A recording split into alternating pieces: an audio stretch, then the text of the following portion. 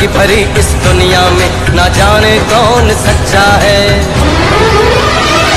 हमने भी देखा